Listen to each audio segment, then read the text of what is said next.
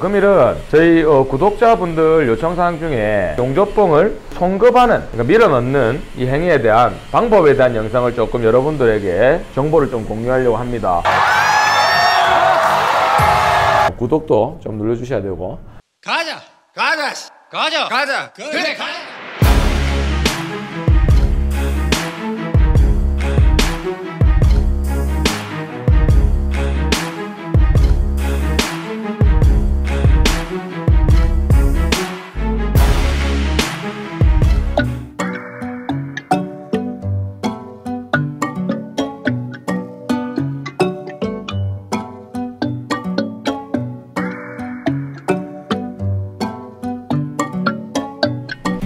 자 금일은 용접봉 송급 방법에 대한 영상을 조금 준비하게 되었는데요 보통 저희가 본원에서 교육하는 이런 용접은 GTAW라고 TIG, 텅스텐 이너트 가스를 사용하는 용접을 하는데 보통 이 용접봉 성급이라고 하면 뭐 흔히 비교 대상으로 FCAW 우리 CO2 용접이 있는데 CO2 용접 같은 경우는 이 피덕인 롤러 성급 장치가 이 용가제를 밀어주는 행위를 합니다. 하지만 GTAW는 이 TIG 같은 경우는 사람이 수동으로 이렇게 손으로 용접봉을 밀어줘야 되기 때문에 어, 금일은 어, 우리는 GTAW를 주로 교육을 하기 때문에 이 손으로 용접봉을 송급하는 방법에 대한 교육을 여러분들에게 해드리려고 하는 겁니다. 그래서 이 용접봉을 송급하는 방법 중에 어, 여러분들이 아셔야 되는 거는 제가 설명을 드리기 위해서는 이 손가락의 이런 용어라든지 이런 것들도 조금 아셔야 되기 때문에 손가락 명칭을 우선 한번 제가 설명을 한번 드리겠습니다. 손가락 같은 경우는 우선에 제일 큰 게 엄지, 그 다음에 검지, 그 다음에 요게 중간에 게 중지, 그 다음에 약지, 그 다음에 요거 소지라고 새끼 손가락이라고 합니다. 그래서 어, 이 다섯 개의 이 손가락을 이제 뭐 명칭이 다섯 개다 손가락이 이렇게 알고 계시고 그 다음에 송급을 하는 방법은 사람마다 조금 종류가 조금 다양한데 이 송급 방법에 대한 종류를 간단하게 한번 설명드리면 이렇게 검지와 중지 사이에 용접봉을 넣어가지고 송급을 하시는 분이 계십니다. 보편적으로 가장 많이 사용하는 방법이고 그 다음에 중지와 약지 사이에 손가락을 넣는 방법이 있어요. 자, 뭐 간혹 가다가 보면 이렇게 약지와 새끼손가락으로 이렇게 넣는 경우도 있는데 이거는 좀 많이는 없고요. 보통은 검지와 중지 사이에 보편적으로는 많이 한다. 이렇게 알고 계시면 되고 그 다음에 또 하나 다른 게 이 용접봉을 넣는 이 방식이 손가락을 세워서 넣는 이런 세워서 넣는 방식이 있고 세워서 넣는 방식이 있고 손가락을 접어서 밀어 넣는 방식이 있다. 뭐 보통은 보통은 조금 이런 식으로 뭐 두 가지의 방법이 어, 여러 가지의 방법이 뭐 있음을 여러분들이 조금 알고 어떠한 방법을 쓰더라도 이 용접봉을 넣는 행위 자체가 용접봉이 흔들리지 않는 방법만 맞다면 뭐, 뭐 어떠한 방법이든 상관이 없다고 제가 표현을 드리겠습니다. 자, 그 다음에 용접봉 송급 방법에 따라서 이 손가락의 각자의 역할을 여러분들이 조금 아시면 좋을 것 같은데 어, 우선에 보편적으로 사용하는 이 검지와 중지를 용접봉을 끼워서 용접하는 방법에 대해서 제가 조금 설명을 드리면 어, 우선에 이 검지와 중지 같은 경우는 이 용접봉을 잡아주는 역할을 합니다. 얘가 중지와 약지로 들어갔을 때는 똑같이 약지와 중지가 용접봉을 잡아주는 역할을 하게 되겠죠. 자, 검지와 중지 같은 경우는 이 두 손가락이 용접봉을 잡아주는 역할을 합니다. 그 다음에 이 약지와 이 소지인 새끼 손가락은 바닥에 지지를 하는 받침대 역할을 하게 돼요. 그래서 보통 일반적으로 우리가 필패스나 뭐 테패스나 이런 용접을 할 때 바닥이 있는 면에 용접을 해야 되는 이런 송급을 할 때는 되게 정밀하지 않아도 되기 때문에 지지를 세워서 해주는 게 약간 더 좋아요.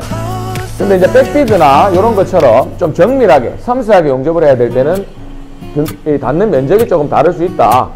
뭐 여기까지 설명드리고 이 부분은 조금 이따가 제가 다루도록 하고 어, 용접봉이 흔들리지 않는 방법에 대해서 여러분들이 굉장히 중요하다고 저는 생각을 해요.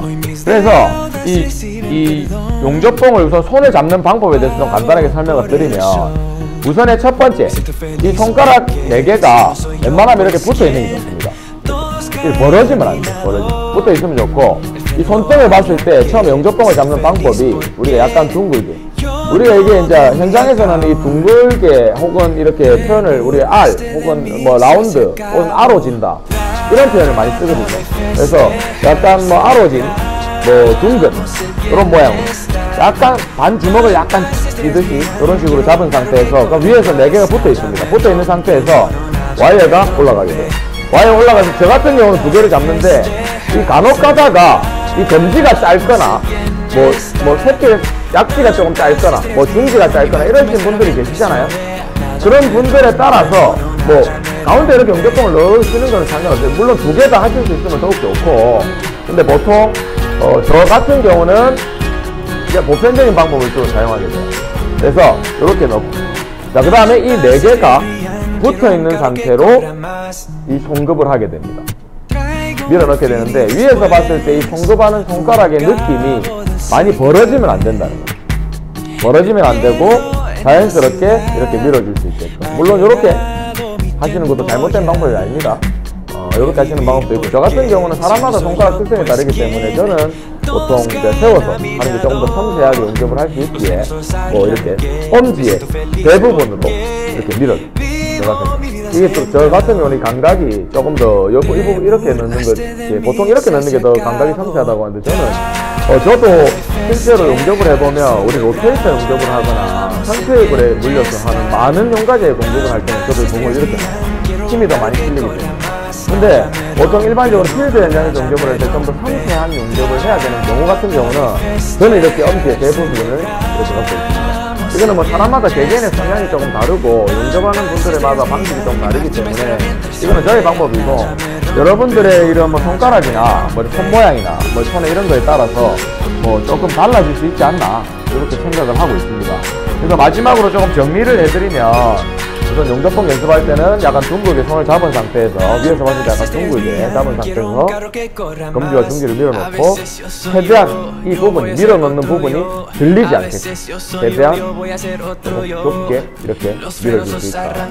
이 용접봉을 넣는 부분에 대해서 여러분들이 조금 알고 계시면 좋은 부분이 어, 일강에서는 용접봉을 어떤 분들은 보통 보면 이렇게 박자에 맞게끔 타이밍에 맞게끔 용접봉이 이렇게 들어간다고 생각을 하시는 분이 계신데 사실은 그렇게 용접을 하기는 굉장히 힘들고요. 용접을 해보신 분들이 좀 아실 거예요. 그래서 항상 용접봉은 이렇게 밀어넣는 대기의 상태가 좀 돼 있는 게 좋다. 우리 사격할 때 보통 보시면 우리가 이 사격할 때도 사격하고 이렇게 재장전하고 하듯이 항상 장전이 돼 있는 바로 사격을 이렇게 발사를 할 수 있는 장전이 돼 있는 상태, 항상 힘이 들어가 있는 상태로 샘물과 만날 때 용접봉이 들어감으로써 이 용접봉의 용가제 양을 조절할 수 있다. 이 타이밍으로 여러분들이 이 용접봉에 이 들어갈 수 있는 양을 조절하는 게 좋다. 좀 여러분들 이해를 좀 하셨으면 좋겠는데 조금 이런 말로 설명하기 좀 어려운 부분도 있으니까 뭐 이렇게 알고 계시면 좋을 것 같고 간단하게 이래 제 영상을 보시는 뭐 구독자분들이나 이 초보분들이 이제 집에서 용접봉 연습하는 게 항상 중요하다고 하는데 어떻게 연습하는 게 좋냐 이렇게 생각을 하셔서 제가 용접봉 연습하는 방법을 좀 가르쳐 드리면 용접봉 사실 종류가 되게 많아요. 종류가 이렇게 뭐 스테인레스도 있고 스테인레스 용접봉도 있고 이렇게 그 다음에 이런 카본 용접봉도 있고 이렇게 반을 자른 거죠. 그 다음에 이렇게 카본 두께 좀 두껍죠 두께가 3.28 용접봉도 있는데 연습을 할 때는 추천은 조금 이렇게 장봉 이렇게 천이죠 천. 이 장봉을 어, 좀 연습하시는 게 좀 더 좋다고 생각을 해요. 왜냐면 좀 봉, 봉이 좀 무겁기 때문에 아무래도 무거운 걸 들다가 좀 가벼운 걸 들면 조금 더 용접, 연습, 용접봉이 좀 더 가볍게 느껴지기 때문에 연습을 하실 때는 좀 이렇게 무거운 걸 하시고, 그 다음에 용접봉 자체도 이렇게 조금, 카본 같은 경우는 좀 오래 놔두면 이게 좀, 이, 좀 산화가 되죠. 그래서, 아, 산화가 되는데 녹이 좀 생기죠. 그럼 이렇게 끄끌끄끌하고 하니까, 뭐, 이렇게 스테인레스나 이런 것들, 뭐 비철금속 이런 용접봉도 있으면 이렇게 상태에 다 있으면 연습하시는 걸 추천을 하고 연습하실 때 보통 이렇게 이런 생각을 많이 하시는데 와이퍼가 있으면 딱 집중해가지고 이렇게 기지해가지고 쭉 보면서 이렇게 넣는 거 이렇게 생각하시는 분들이 있는데 저는 이건 좀 아니라고 봅니다. 왜 그러냐면 보통 제가 학원에서 학부강생들을 교육을 많이 하다 보면 어, 이렇게 연습을 하시는 분들은 연습을 오래 하지 못해요. 네, 지루하기도 하고 네, 굉장히 비효율적인 연습이라고 생각을 하는 게이 용접봉 연습을 하는 데 있어가지고 제가 추천드리는 방법은 항상 이 용접에 관심이 여러분들이 있으신 분들은 이 용접봉을 항상 이렇게 손에 이렇게 붙이고 계십시오. 붙이고 계시다가 이렇게 들고 계시고 연습하는 연습을 하다 보면 이 감각이 조금 더 많이 예민하시게 생기고 이 손에도 이렇게 어느 정도 근육이 붙기 때문에 처음에는 용접봉을 조금 넣다 보면 손도 아프고 힘든데 나중에 용접을 좀 오래 하다 보면 이게 자연스럽게 좀 근육도 붙고 거 생겨서 좀 용접봉이 되게 가벼워질 수 있다.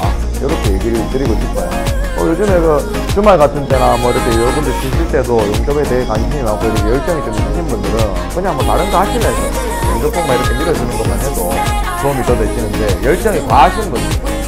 하나는 용접에 너무 이게 오래 내갖고 최고가 돼야 되겠다 집중해서 한번 이것만 보고 하시는 분들은 3분 5분 하다가 이거 그냥 집어 던지고 연습 안 합니다. 결국에 힘들어 그래서 조금 내가 사람을 이렇게 교육을 좀 해봤을 때 조금 더 효율적인 방식은 용접봉을 항상 이렇게 손에 붙이고 그래서 용접봉을 넣는 이 근육을 조금 키워주는 이런 행위가 조금 중요하다 이렇게 생각하면서 오늘 뭐 아주 두서없는 얘기일 수도 있는데 오늘 용접봉 성급 방법에 대한 영상은 여기까지 하도록 하겠습니다. 자, 영상이었습니다.